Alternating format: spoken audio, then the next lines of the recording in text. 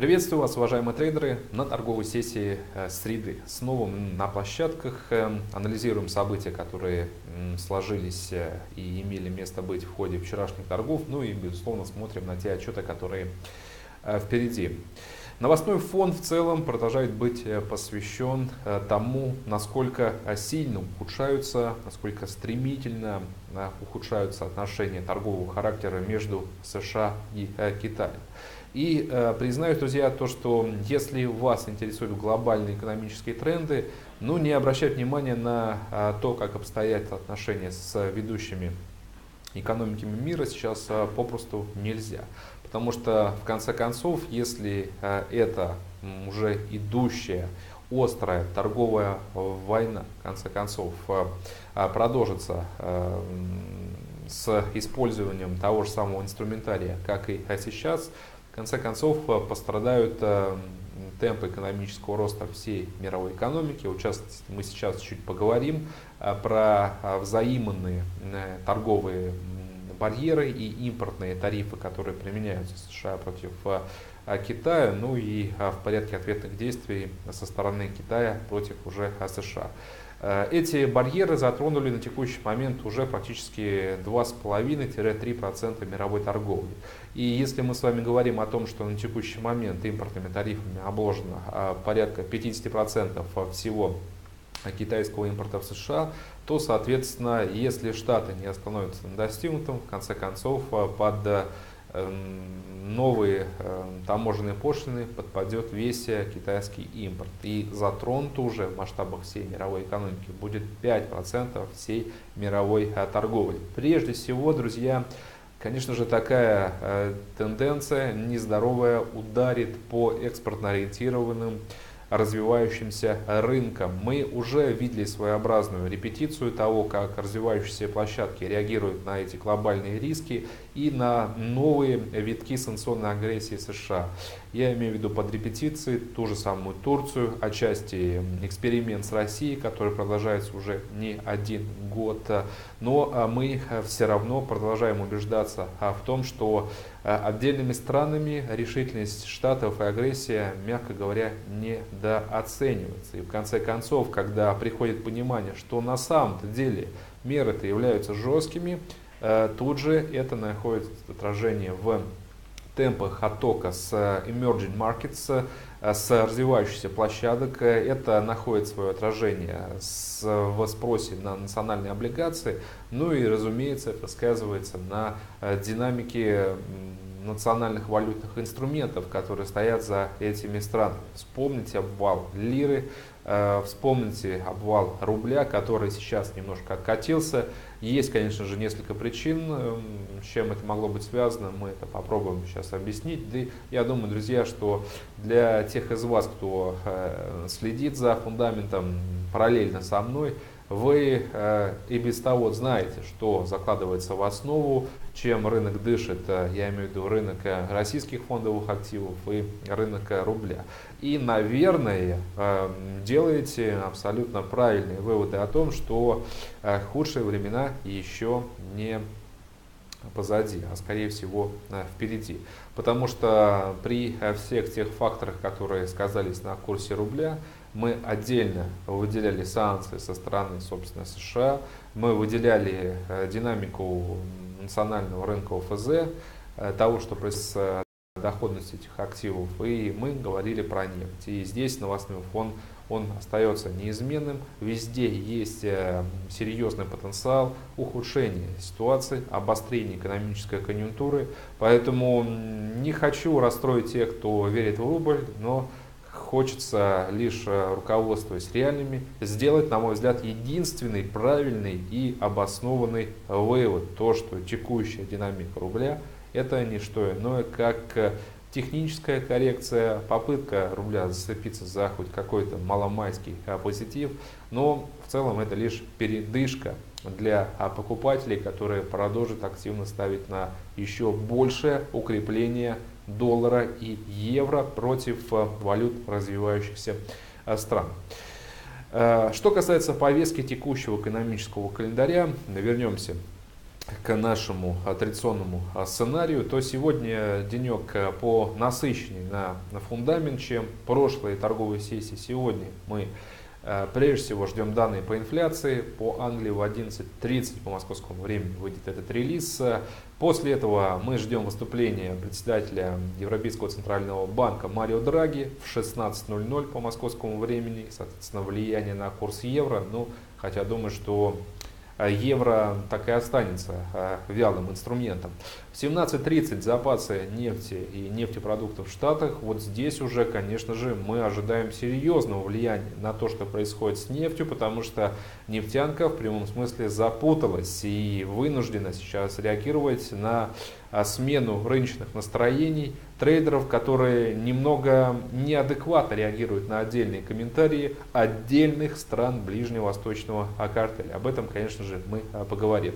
Запасы это статистика трендовая, цикличная. Мы разбираем этот релиз каждую неделю и знаем то, что этот отчет влияет на то, что происходит с рынком нефти. Забегая вперед, хочу отметить, что вчера у нас была а, своего рода неплохая положительная для продавцов репетиция в виде отчета от Американского института нефти. Запасы выросли может оказаться так, что и официальные данные недалеко уйдут от этой статистики и в целом укажут также на прирост. Это как раз очень хорошее подспорье для развития нисходящей динамики.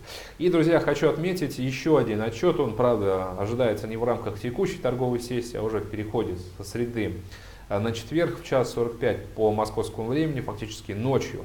Э, ВВП Новой э, Зеландии. Новозеландец – это еще один инструмент, которым мы с вами спекулируем, очень э, близки мы к цели. Соответственно, если данные по темпам экономического роста Новой Зеландии совпадут с ожиданиями экспертов, можете посмотреть на содержание экономического календаря, в годовом выражении ожидается спад, то новозеландская валюта окажется под локальным давлением, вызванным как раз слабым отчетом по экономическому росту. Вот 0,65, я уверен, то, что цель мы с вами сделаем в ближайшие дни. Но я даже полагаю, что э, какой-то э, дополнительной поддержки э, с моей стороны идеи того, что новозеландец ослабнет, для вас уже не нужно, потому что вы и без меня. Знаете и видите все риски, которые характерны для валют стран Океания, для австралийца Новой Зеландии. Мы вообще можем закрыть глаза на статистику, просто говорить и рассуждать о перспективах этих стран и, соответственно, инструментов, которые за ними э, стоят на основании того, что происходит с Китаем. Вот э, плавно мы так перешли на тему отношений США и Китая, хотя я уже в начале брифинга чуть затронул ее. Хочется лишь эм, для вас еще раз повторить хронологию событий, с которыми мы работаем. В ночь на вторник, вы помните, Трамп э, все-таки э, ввел эм, импортные тарифы на э, китайскую продукцию. Это, правда, 10% тарифы никак обсуждалось ранее 25% тарифы. Но э, все равно, наверное, сути дела это не меняет. Ограничения барьеры тарифы, они и в Африке таковыми и являются.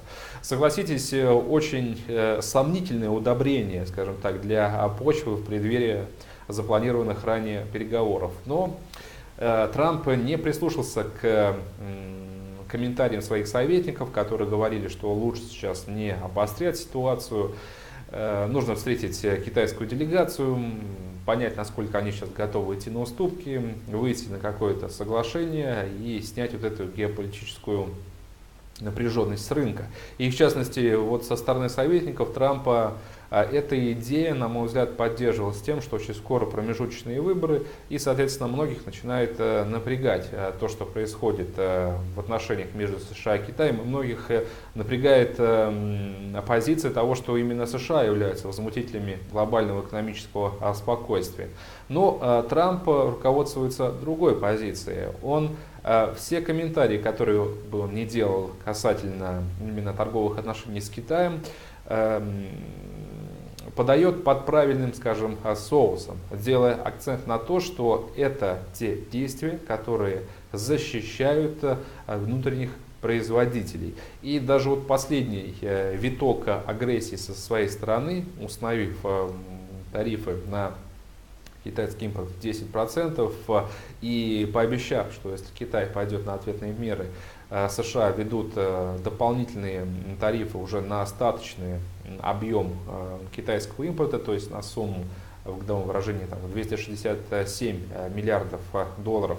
Это все было сопряжено с комментариями о том, что Трамп не позволит создавать препятствия для национальных фермеров. Ну, возможно, такая а, тактика э, именно формирования дополнительных очков, что ли, популярности, э, набива рейтинга и сработает, потому что э, Трамп очень, эм, скажем, стратегически мыслящий политик, и, может быть, рядовых потребителей, которые когда-то голосовали за него, он знает куда э, лучше многих и знает, в принципе, что нужно сейчас давать народу для того, чтобы э, сохранить необходимое доверие к своей э, кандидатуре.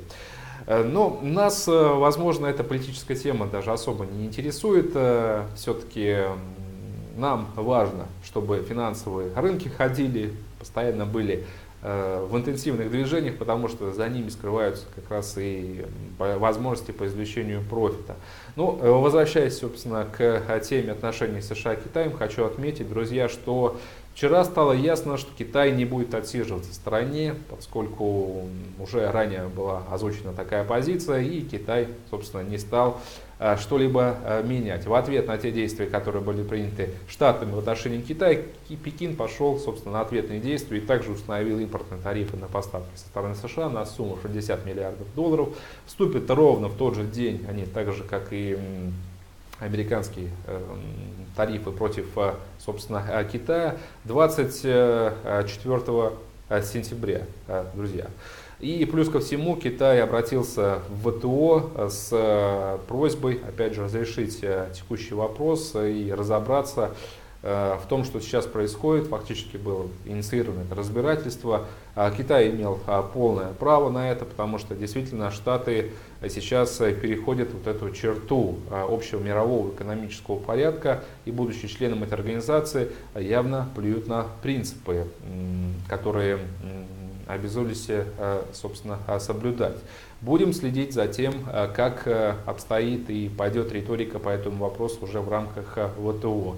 Но что-то подсказывает мне, Трамп уже делал, мягко говоря, заявление о том, что плевать вообще на позицию ВТО, особенно эта организация, ее позиция не интересует, и если что-то будет совсем из ряда вон выходящего, Соединенные Штаты Америки просто выйдут из данной э, организации.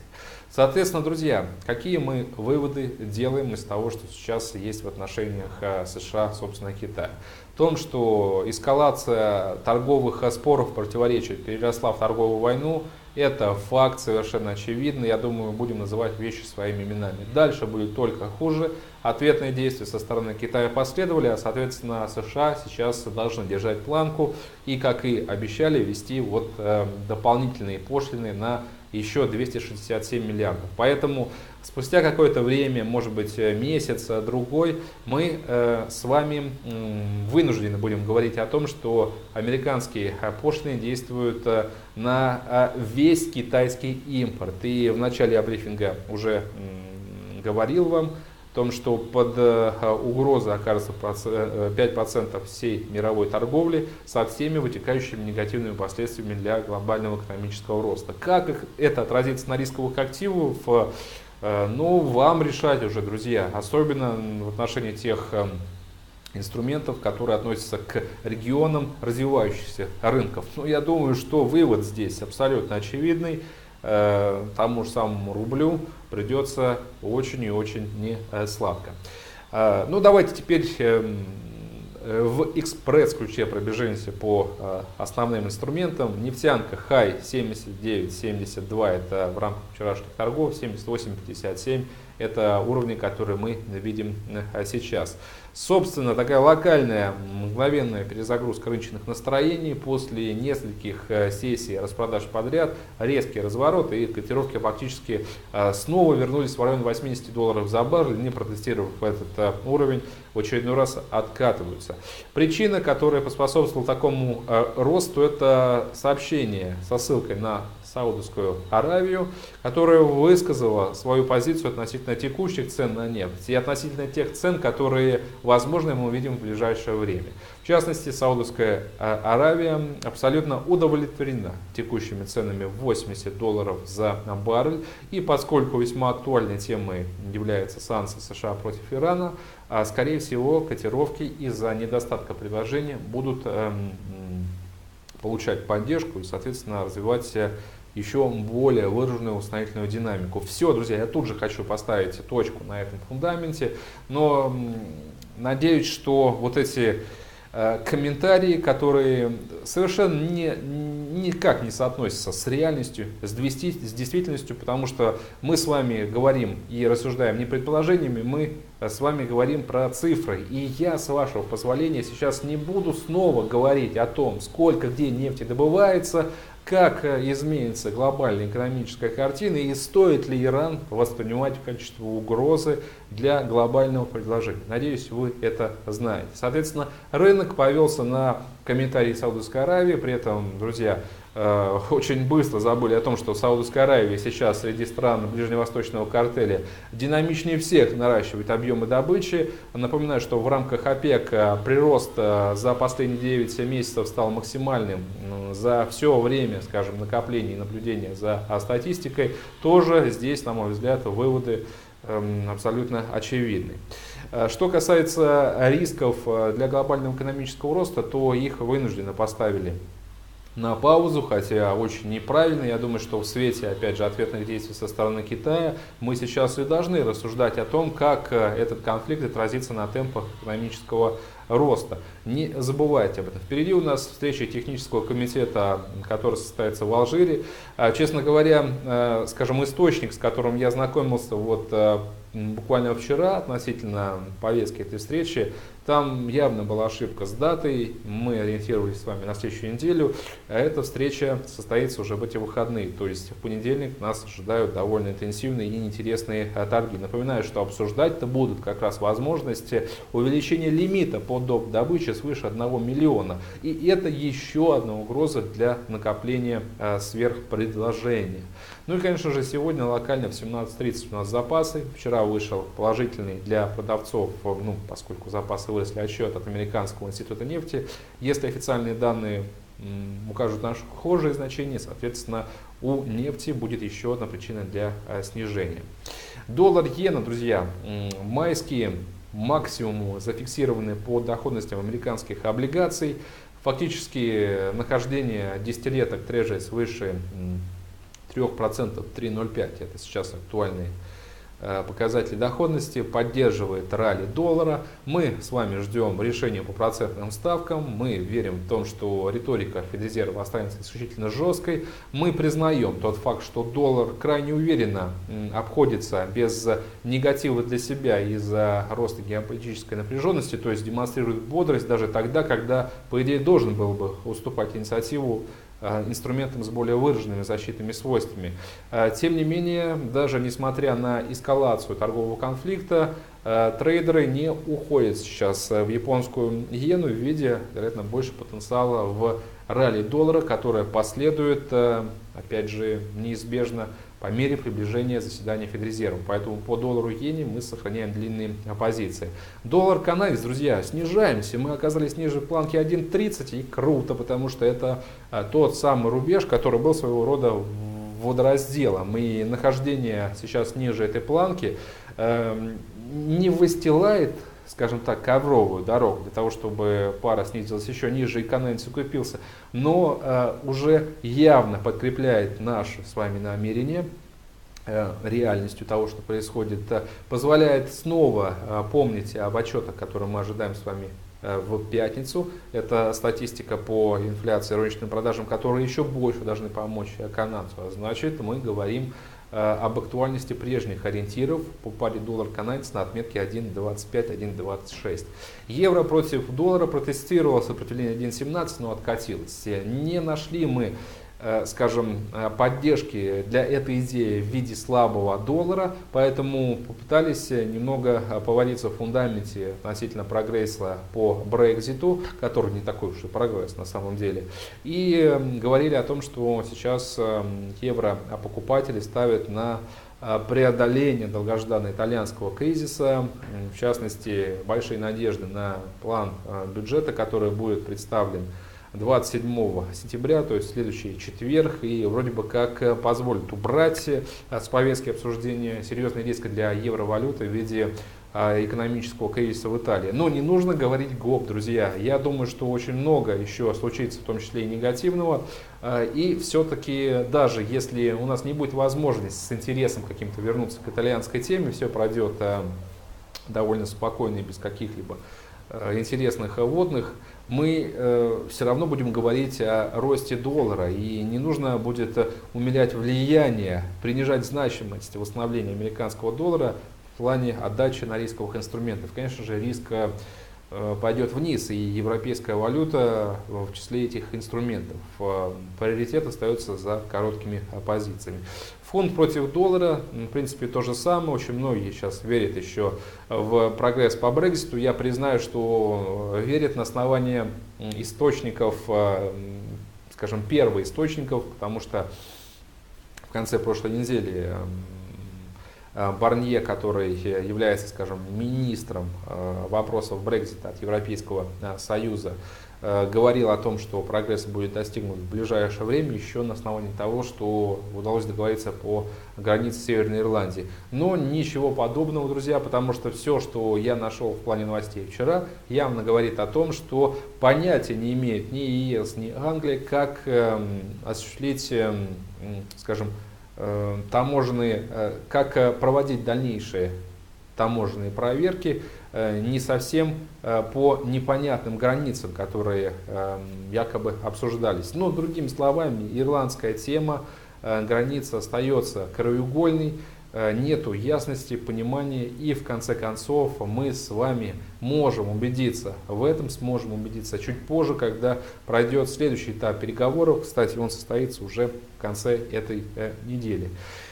Думаю, что будет еще возможность понегативить с британцам, поэтому стараюсь э, находить больше для вас аргументов, чтобы вы воздерживались от длинных позиций. Сегодня, кстати, выйдет отчет в 11.30 по московскому времени по инфляции в Англии. Соответственно, если мы увидим то, что индекс потребительских э, цен окажется ниже, чем динамика роста заработных плат, то у Банка Англии будет еще одна возможность э, придержать свою Э, решительности относительно повышения процентных ставок. А без роста процентных ставок фонд будет лишен еще одного потенциального катализатора. То есть здесь я планирую тоже выжать эм, больше профита через коррекцию, нежели чем э, ставить на напускной позитив, основанный на долгожданном, долгожданном прогрессе по Брекзиту. Друзья, это что касается основных валютных инструментов. Думаю, мы разобрали их, как всегда, уложились э, вот э, в наши 20 небольшим минут. Соответственно, остается пожелать вам только прибыльной, хорошей торговой сессии. Как и всегда, контролируйте риски. Это очень важно. Это ваша ответственность, скажем так. И поскольку вы несете ответственность за сохранность ваших депозитов, вы должны, конечно же, использовать все инструменты, которые позволяют в том числе и ограничивать те потенциальные убытки. Даже несмотря на то, что, казалось бы, фундамент, который мы с вами анализируем, он явно указывает на то, что актив должен двигаться вот в конкретном, строго спланированном, спрогнозированном направлении. Но зачастую рынки, прежде чем определиться с трендами, э, показывают эти коварные динамичные движения – которую на площадках называют э, э, пилой. И ну, не нужно, опять же, оказываться вот э, в этом распределении быков и покупателей. Не нужно реагировать на всплески волатильности, нужно просто знать, что вы хотите получить от валютного инструмента и почему. Как раз в этом нам и помогает фундамент. На этом все. Всего доброго, до свидания.